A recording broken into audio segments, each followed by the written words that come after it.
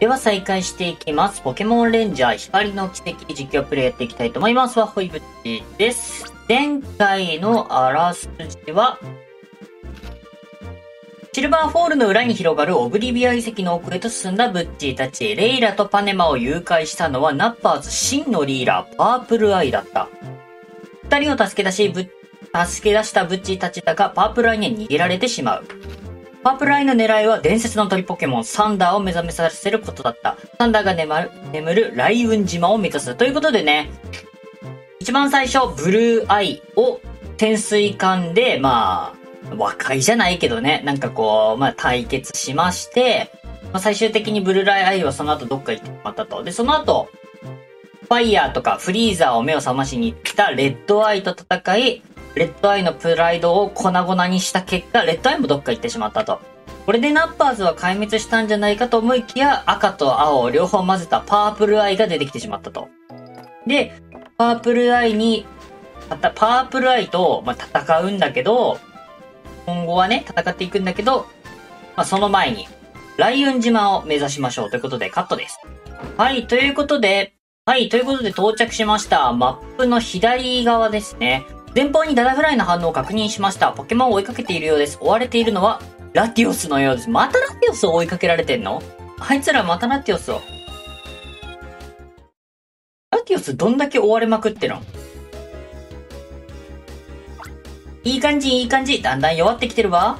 かなり手こずったが、これで終わりだ。一斉にプラズマ砲を発射よう。発射しよう。そこまでよ、ナッパーズ。いいところでレンジャーか？オーラテス逃げてった。あと少しだったのに逃げられちまったじゃないか。ラティオスのやつはあの島に戻って飛ぶ力を回復させるつもりか？追いかけても追いかけてもキリがないぜ、まったく。私たちがレンジャーを食い止めてる隙にお前たち3人はあのポケモンを追いかけるのよ。絶対逃がすんじゃないよ。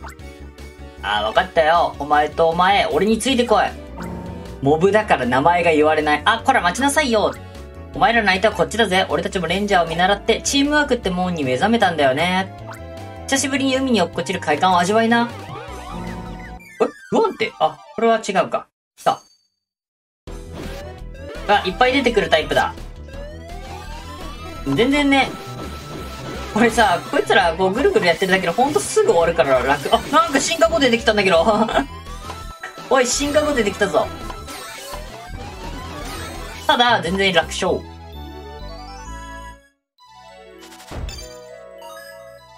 不安定不アライドが出てきた。戦いには負けたけど時間は稼げたわ。まさにチームワークだぜ。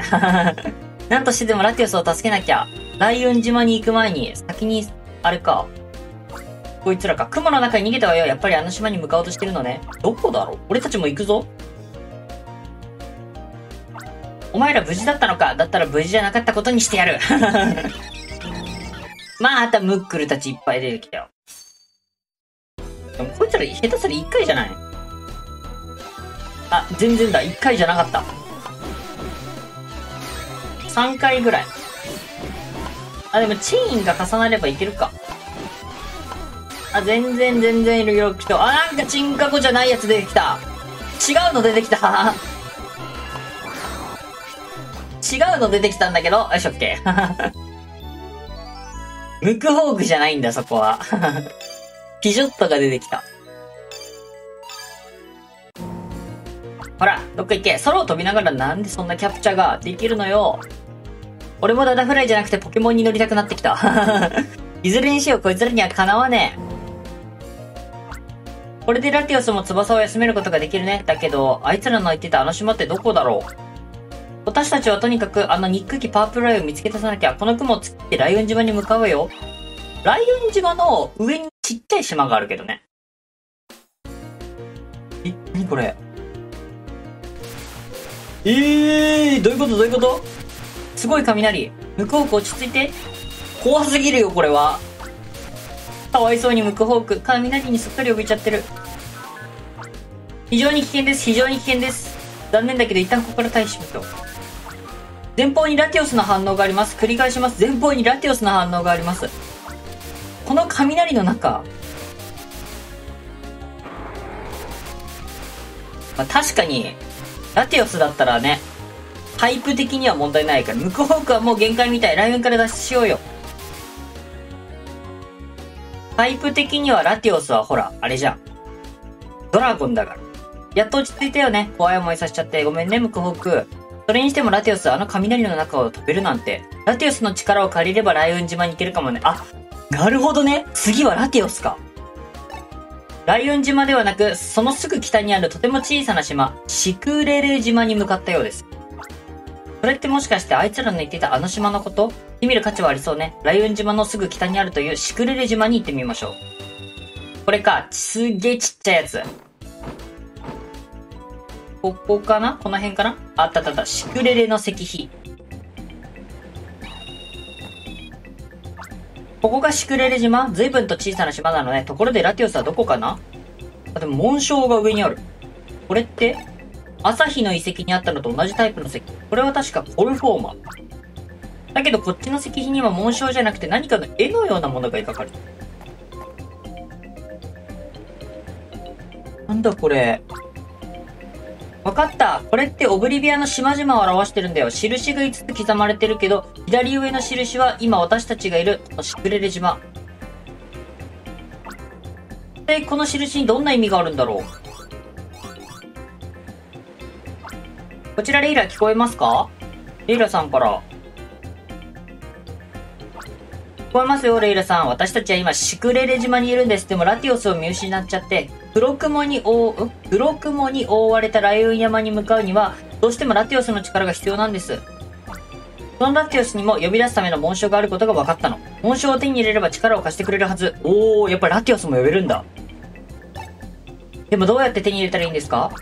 そのことを伝えようと思って連絡したのよ。オブリビアの伝説の中に空を切り裂くポケモンの物語があった。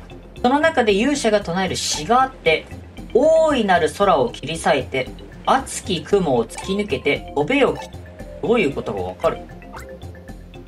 空を切り裂くポケモンってもしかしてラティオスのあ、そうなのかな？おそらくそうだと思う。だけどそのポケモンの力を借りるのはオブリビアの勇者でさえかなり苦労したことらしい。伝説に残されていた。そのポケモンを呼び出すための紋章は、オブリビアの各地にある5つの小さな石碑を線で結んだ形らしい。おうこれじゃん。私が見たことある小さな石碑は、ドロップ島とファルデラ島、それにソピアナ島の3つだけ。他にあと2つあるはずなんだけど、あ、シクレレ、ここだね。シクレレと、これさ、ドロップ島じゃない？一番左下。シクレレ島にそんな地図があったらね、だったら5つの石碑を巡ってみるのはどうかしら。今はとにかく伝説を信じること、それ以外の方法はなさそうよ。おそらくあなたたち二人にはこれまで以上の試練が待っている気がする。二人ならやり遂げる、やり遂げるって信じたいけど、私には送り出すことを止めることもできないわ。それじゃあね。情報ありがとうございます。5つの小さな石碑が回る。おー、なるほど。これか。これが一つ目の小さな石碑。プレートがついてるけど後からつけたものみたい。プレートに解説が書いてある。読んでみるね。オブリビアの古代文字で大いなる空をという意味の言葉が記されている。ジュゲーマ。誰ジュゲーマ大いなる空。レイラさんが教えてくれた勇者が残した詩の始まりの言葉と同じ。それにジュゲマさんってあの、あ、古屋敷のあれか。オブリビアの伝説って本書いた人。石碑の調査のためにはるばるこのシクレル島までやってきたってことだよね。ちょっと。小さな石碑が反応したようです。伝説に書かれていたことはどうやら本当みたいね。地図に記されている5つの場所を回ってみよう。うわ、大変だな こっから全部回るのか。回りし直しか。残り4つ。うわ、マジか。こっから全部回るんだ。ここ、ムクホークしかいないんだけど、ここ。ということなので、ま、とバンバンしまくって、全部の島回ってきます。あとです。はい、ということで、パルデラ火山にやってきました。ポケモンレンジャー。ナッパーズ。パープルアイさんからレンジャーを足止めしろと言われたけど、負けると分かってる戦いをしないといけないなんて、勝ち負けはやってみなきゃわからないけどな。お前たちにかなう相手ではないが、ってパープルアイさん言ってましたよね。情けないことを言うな。パプライさんの思い違いだってことを証明してやろうぜ。行くぜ、レンジャー。あー、ちょっと強そう。確かにちょっと強そうだけど。どうしよっかなラグラージ。いけポポポポポポポポッと。さあ、ピッチもいけ。怒ってるのやだな。おー、いいね、いいね、いいね、いいね、いいね。いけいけいけいけいけいけ。じゃん。ドーン、オッケー。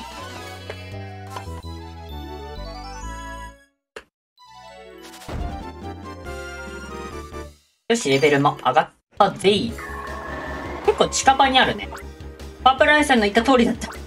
うじうじ言ってないでさっさと退散帰れ覚悟して待ってなさいってパープルアイさんに伝えといてつって この小さな石碑にもジュゲマさんのプレートがある。読んでみるね。オブリビアの古代文字で切り裂いてという言葉の意味の言葉が記されている。ジュゲマ。裂いて。これも勇者の残した石の一部。お、光った。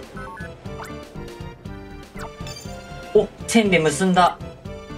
石碑の地図にはソピアナ島にも印があった。あ、こういう風にさっきね、実はアクアリゾートに行ったんですけど、あの、南に話しかけたら、あのー、言ってくれたんですよ。で、なんかこう、順番っぽいんで、次はじゃあソピアナ島に行きます。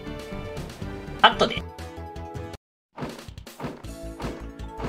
はい、ということで、ソピアナ島上空なんだけど、地図で見た印は確かこの辺りのこのエリアには海底火山の熱による上昇気流があり、海面の近くまで降りることは危険です。おお。